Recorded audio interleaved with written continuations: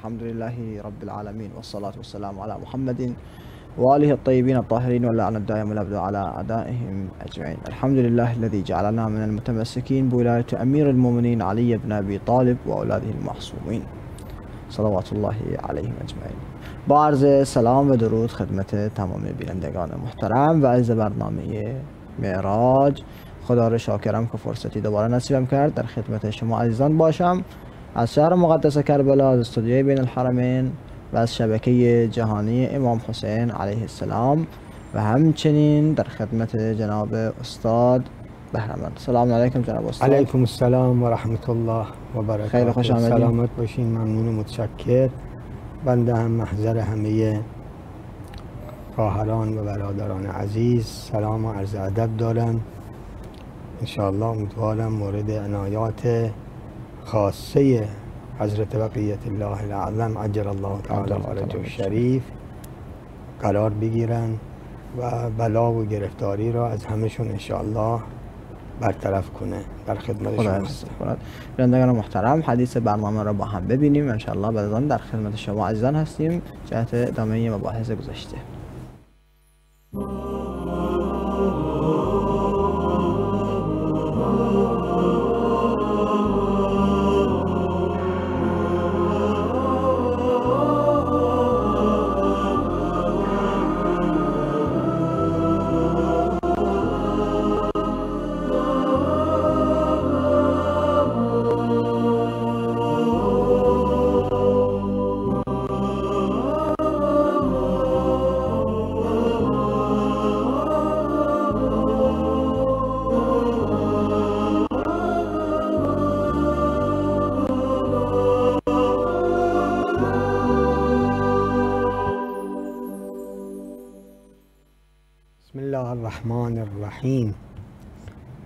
استغفر الله الذي لا اله الا هو الحي القيوم.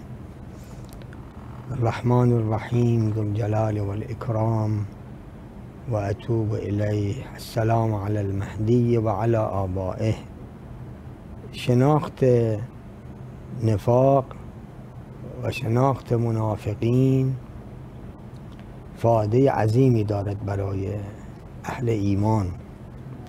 چون اهل ایمان هم باید خودشون.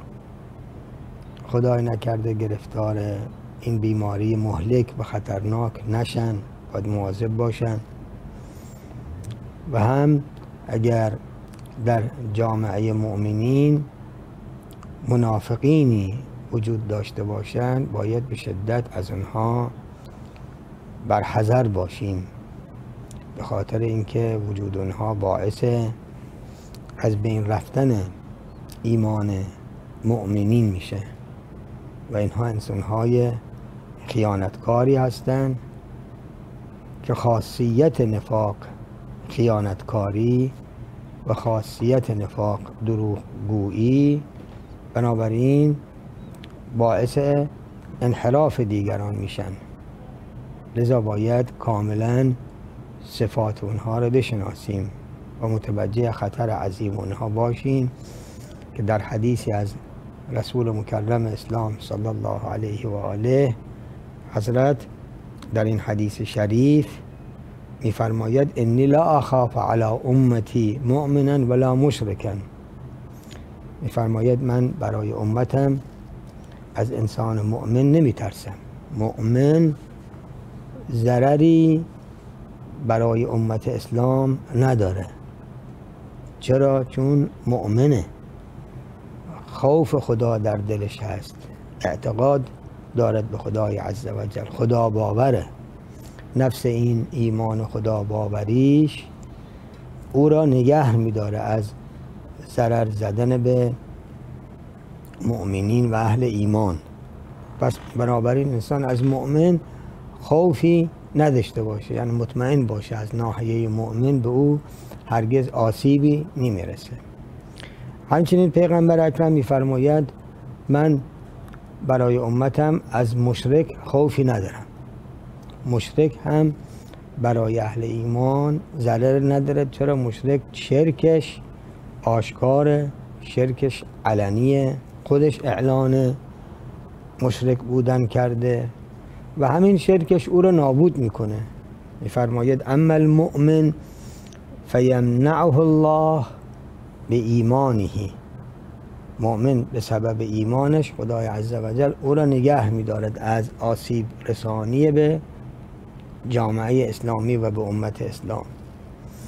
و اما المشرک فیقمعه الله به شرکه به واسطه مشرک بودنش خداوند اصلا ریشه او را می‌کنه. بس از این دو دسته انسان نباید واهمه و ترسی داشته باشه. یکی از مؤمن یکی از مشرک. لکن از کی باید ترسید؟ پیغمبر اکرم میفرماید ولکنی اخاف علیکم کل منافق جنان عالم اللسان. من برای امت اسلام برای شما اهل اسلام از دست شخص منافق خوف دارم اون منافقی که قلبش با شما نیست. قلبش تاریکه. قلبش خدا را باور نداره. قیامت را باور نداره.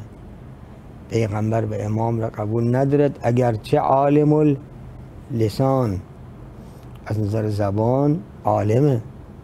با زبان دم از خدا می‌زنه با زبان دم از پیغمبر می‌زنه دم از دین می‌زنه.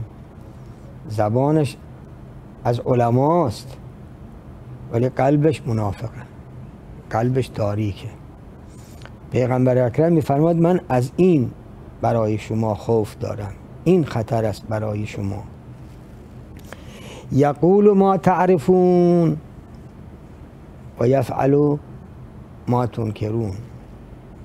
زبانش معروف ها را می‌گوید. با زبانش از خوبی ها دم می‌زنه. زبانش دم از نماز دم از نماز می‌زنه دم از روزه می‌زنه دم از حج می‌زنه دم از جهاد می‌زنه دم از دین می‌زنه. او اعلم علماست. ولی از نظر عمل جز منکرات عمل دیگری انجام نمیده. در عمل شرابخواری می‌کنه قماربازی می‌کنه اختلاس می‌کنه دزدی می‌کنه خیانت می‌کنه به نامحرم نگاه می‌کنه و کارهای خلاف دیگر را مرتکب میشه. عملا اهل گناه و معصیت ولی لسانا و زبانا اهل علم و عالم به مثلا دین عالم به احکام اسلامی پیغمبر اکرم میفرماد چنین شخصی برای شما خطر داره و من از چنین شخصی خوف دارم برای شما. لذا صفات منافق را هرچه انسان بیشتر بشناسد بهتر می‌تونه با چنین اشخاصی مقابله کنه و خودش را در امان نگه دارد از شر چنین انسانهایی. در حدیث شریفی از وجود مبارک خاتم الانبیا صلی الله علیه و آله حضرت میفرماید ثلاث من کن فیه کان منافقا. سه صفت بدیه سه رزیلته سه صفت سیعه است که اگر کسی اینها رو داشته باشه حتما حتما این منافقه. بنابراین منافق اونی که این سه صفت را داشته باشه. و این سام و صلا.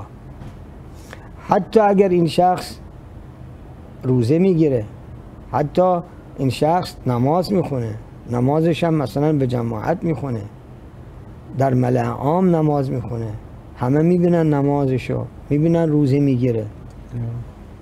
ولی چی؟ ولی این دارای این سه صفته. میفرماید و انسام و صلا و زعم انه مسلم. حتی اگر خودش گمان کنه که مسلمه و فرد با ایمانیه. این سه تا صفت چیه که نشونه انسان منافقه؟ رسول الله میفرماید من اذا تمنه من اذا تومنه خانه. اولین صفت اینه که وقتی چیزی را نزدش به امانت بگذارن حفظ امانت نمی‌کنه. کتاب رو بهش میدن که مثلا از روی کتاب استنساخ کنه نسخه برداری کنه خیانت می‌کنه کم و زیاد می‌کنه. کتاب مردم رو درش چکار می‌کنه؟ دست می‌بره. کتاب عالم رو دست می‌بره. کمان که یه کسی وقتی کتاب چاپ کرده بود کتاب مکاسب مرحوم شیخ انصاری را رضوان الله علیه را چاپ کرده بود. اون قسمت جواز غیبت کردن درباره اهل خلاف. غیبت کردن اهل خلاف یعنی پشت سر اهل خلاف حرف زدن غیبتشون جایزه چون اهل خلافن. یه بحث مفصلی کرده شیخ رحمت الله علیه در مکاسب. اون برای حفظ وحدت برداشته اون قسمت بحث رو کلا در چاپ حذف کرده از کتاب شیخ حذف کرده. تو چه حق داری که کتاب مردم رو درش بله دست ببری؟ حالا چون به سلیقت جور در نمیاد خب خودت بر خودت پیشین یک کتاب مکاسب از نو بنویس. نه اینکه کتاب شیخ را چاپ کنی اما اون بخش مربوط به جواز غیبت اهل خلاف اون رو از این کتاب چکار کنی؟ حذف کنی. خیانت در امانته. این کار کار درستی نیست. یا مثلا یک کسی بیاد بهار را چاپ کنه متاعن ست خلیفه رو ذکر نکنه. حذف کنه از کتاب بردارد. این خیانت در امانته. این کار شخص منافقه. میفرماد منافق اون کسیه که وقتی چیزی را نزدش به امانت بسپارن این حفظ امانت نمی‌کنه. بلکه کار می‌کنه در امانت خیانت می‌کنه. مثل اون برسیسای عابد که اون, ستا اون چند تا برادر خواهر زیباروی خودشون را نزد او به امانت سپرده بودن اما او خیانت کرد در امانت. هم بهش نگاه کرد هم بهش تجاوز کرد و بعدم او را به قتل رسانید. این خیانت در امانته. یا مال اموال را نزدش می‌گذارن.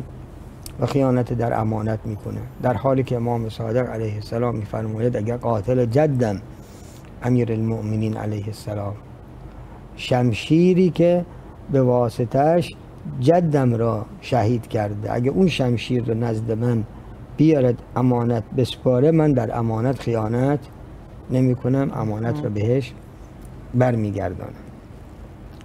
و دوم میفرماید اذا حدث کذبه. آدم منافق اون کسیه که وقتی سخن می‌گوید سخن راست نمیگه. سخنش دروغه. که دروغ مادر گناهان و معاصیه. در روایت دارد که اگر همه گناهان را بگذارن در یک صندوقی در یک صندوقی کلید اون صندوق را ایدن دست کذب و دروغ. یعنی کسی که دروغ می‌گوید تهمت هم می‌زنه غیبت هم می‌کنه شراب هم می‌خوره اختلاس هم می‌کنه ربا هم می‌خوره. در امانت هم خیانت می‌کنه. ریشه همه گناهان و معاصی دروغ گفتنه و دروغ گفتن کار انسان منافقه. و سوم میفرماد و اذا وعد اخلفه. وقتی وعده کنه به وعدش عمل نمی‌کنه. المؤمن اذا وعد وفا. وفای به عهد وفای به وعده عمل کردن به وعده این از ویژگی های انسان با ایمانه. ولی منافق صاف نقطه مقابل مؤمنه. چیکار می‌کنه؟ هیچ وقت به وعده خودش عمل نمی‌کنه. میفرماد نگاه نکنید به طول رکوع کسی. یا طول سجود کسی. بلکه نگاه کنید ببینید اگر وعده ای کرد به وعدهش عمل می‌کند یا نه. اگر چیزی را نزدش امانت گذاشتن امانت را به صاحبش برمیگرداند یا نه. بعد پیغمبر اکرم صلی الله علیه و آله بعد از ذکر این, تا این ستا صفت درباره انسان منافق شاهد میارن برای گفتاری خودشون. از کلام الله مجید و از قرآن میفرماید ان الله عز وجل قال فی کتابه ان الله لا يحب الخائنین. خداوند خیانتکارها رو دوست نمی دارد و خیانتکار کیه؟ منافقیه که در امانت خیانت می‌کنه. و خدای عزوجل باز در قرآن کریم میفرماید و ان لعنت الله علیه ان کان من الکاذبین. کسی که دروغ گوه از رحمت خدا دور میشه. لعنت الهی شامل حالش می‌شود به خاطر دروغ گفتنش. و دروغ گفتن این صفت انسان چیه؟ صفت انسان منافقه. و باز قرآن کریم میفرماید واذکر فی الکتاب اسماعیل. ای حبیب ما جناب اسماعیل را یاد کن انه کان صادق الوعد. او کسی بود که در وعدش صادق بود. تخلف نمی‌کرد وعده را به وعدش عمل می‌کرد. صدق وعده از صفات ارزشمند انسانهای والاست و انبیاء و جناب اسماعیل پیامبره که خلافش در شخص منافقه حالا چیکار کنیم که ما از این بیماری نجات پیدا کنیم؟ یه راه را روایات ما و پیغمبر اکرم برای ما بیان کرده. میفرماید الصلاة علی و علی اهل بیتی تذهب بالنفاق. اگر کسی بر پیامبر و آل پیامبر درود بفرسته صلوات بفرسته اثر وضعی این درود این صلوات اینه که نفاق را از دل انسان میزداید و از بین می‌برد. اللهم صل علی محمد و آل محمد. در خدمت شما هستم. طیب الله استاد بینندگان محترم ممنونم که تا اینجای برنامه همراه ما بودین. میان برنامه رو با هم ببینیم و انشاءالله بعد از آن در خدمت شما عزیزان هستیم. جهت پاسخ به سوالاتی که برای ما ارسال کرده ایم.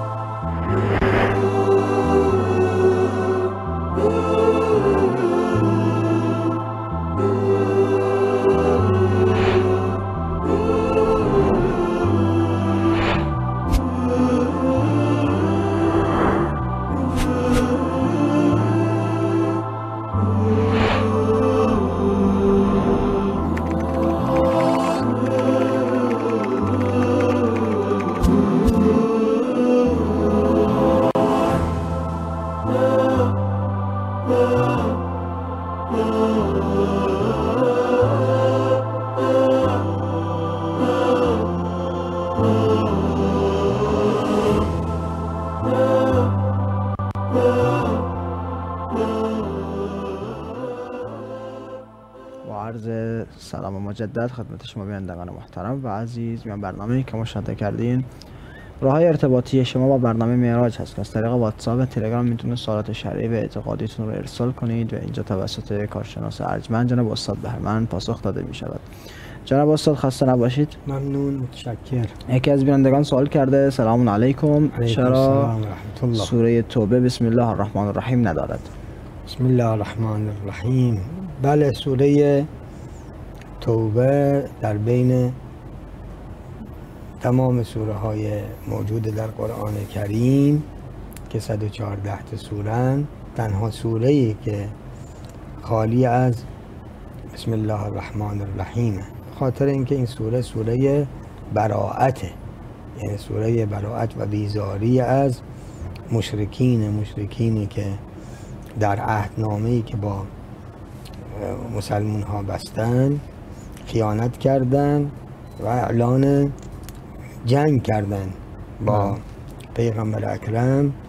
لذا خدای عزوجل به عنوان اظهار براعت و بیزاری از چنین مشرکانی و اعلان جنگ به اونها نیامده با بسم الله الرحمن الرحیم سوره رو شروع کنه. نیامده با رحمانیتش با اونا شروع کنه. چون بسم الله الرحمن الرحیم این دلیل بر صلح و عدم جنگه. اما چون اونها با مسلمون ها مخالفت کردن و قرار بین خودشون و مسلمون ها رو زیر پا گذاشتن بله. لذا اعلان جنگ شده از طرف خدای عزوجل با اونها و بسم الله الرحمن الرحیم. روی این جهت اینجا گفته نشده. بسیار ممنون جناب استاد. یکی از بینندگان سوال کرده سلام علیکم. سلام مفصلی هست.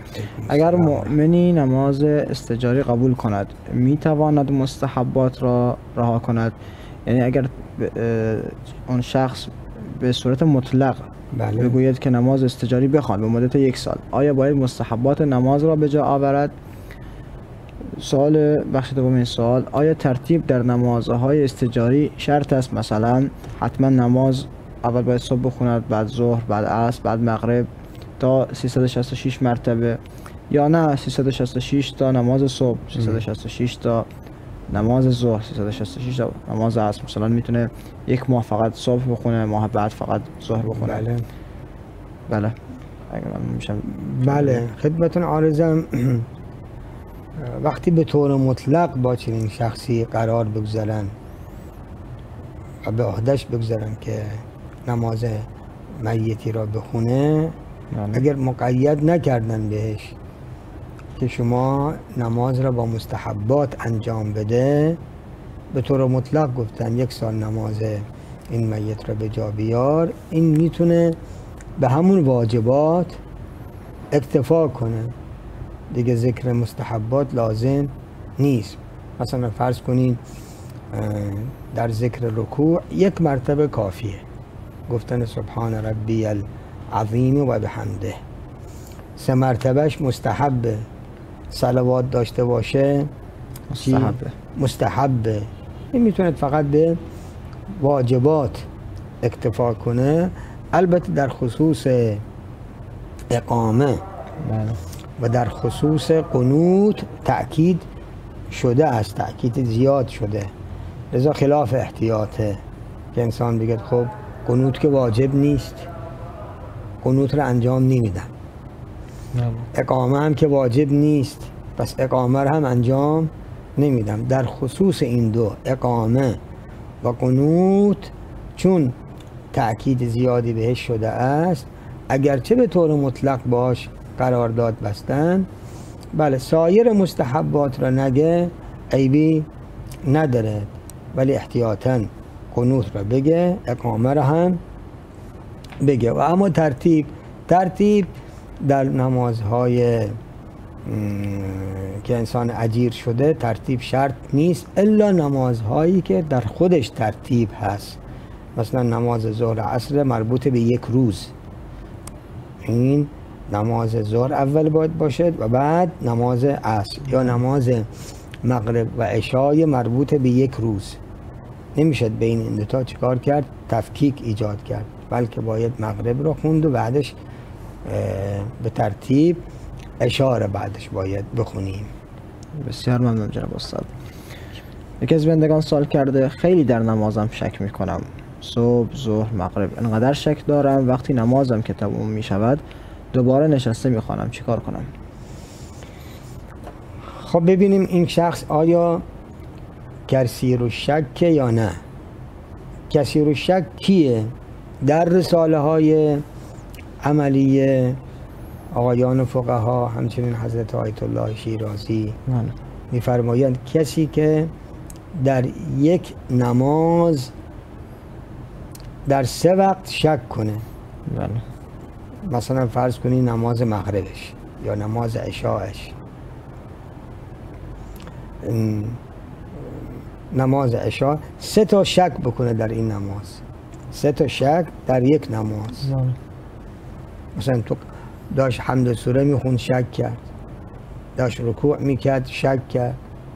داشت سجود به جا می آورد شک, شک کرد. کرد. سه تا شک در یک نماز این میاد در قالب کسی که کسی رو شک کرد. یا اینکه در سه نوبت در سه وقت این شک بکنه در یک روز. صبح شک کرد. نماز مغرب و ظهر عصرش هم خوند شک کرد. نماز مغرب اشار هم خوند شک کرد. در سه وقت در یک 24 ساعت اگر شک بکنه این میاد در دائره شخص کسی رو شک.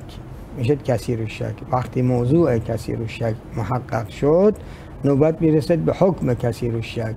حکم کسی رو شک اینه که باید به شک خودش توجه نکنه به شکش باید اعتنا بله نکنه تا کم کم این حالت شک از بین برد به حالت تعادل پیدا کنه. بسیار ممنون جناب استاد. سوال شده کسی که انگشتری پیدا کرده و با آن نماز خوانده آیا نماز او باطل است؟ کسی که انگشتر پیدا می‌کنه این باید در صدد پیدا شدن صاحبش باشه. اگر نشونه ای دارد باید تعریفش کنه.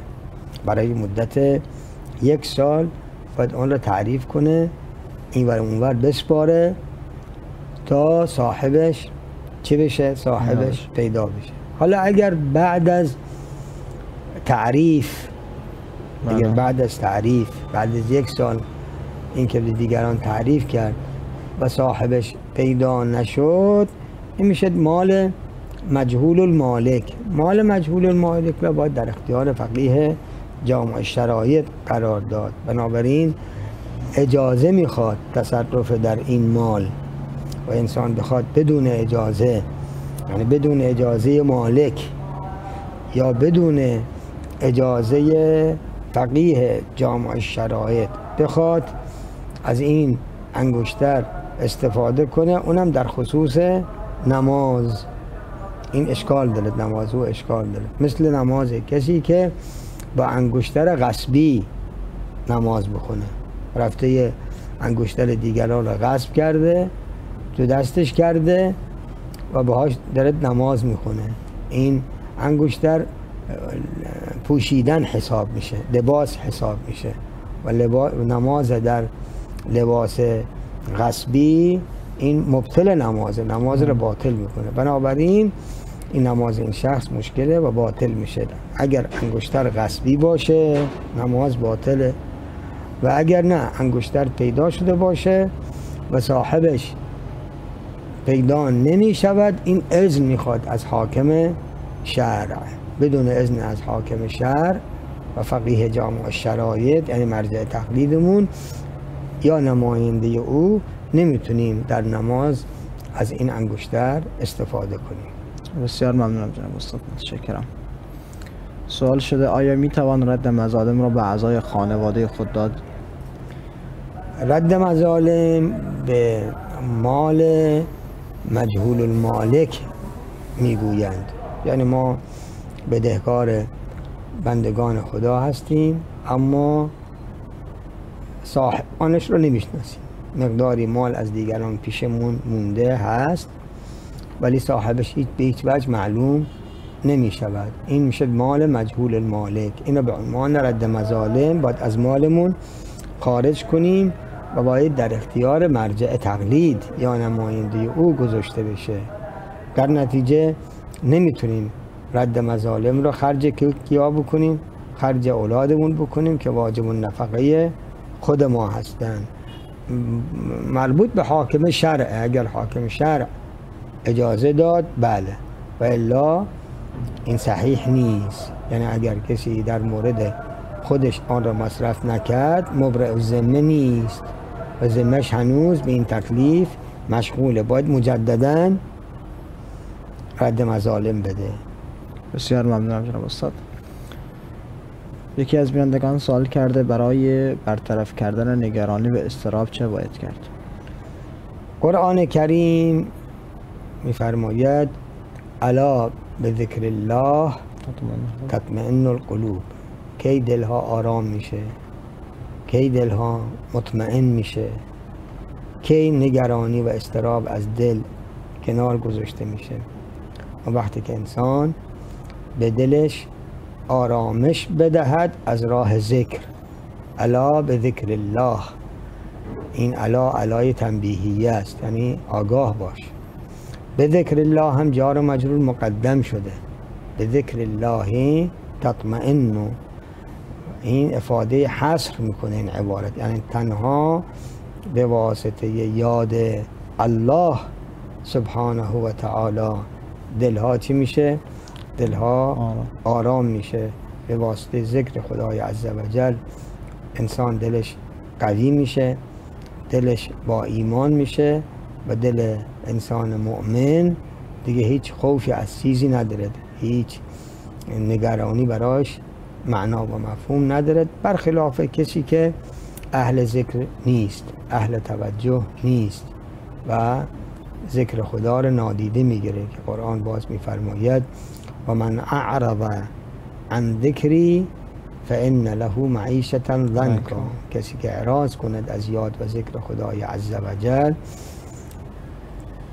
این برای او یک زندگی تنگ و یک زندگی سختی خواهد بود. بنابراین عوامل استراب و نگرانی هرچی باشه حالا خوف ترس فقر نداری ترس از مرگ هرچی باشد عوامل این نگرانی تمامش از بین میره به واسطه ذکر و یاد خدای تبارک و تعالی. حالا این مصادیق ذکر چیه؟ یکی از مصادیقش نمازه. اونم نماز با توجه. نماز با توجه با حضور قلب ایمان انسان را قوی می‌کنه.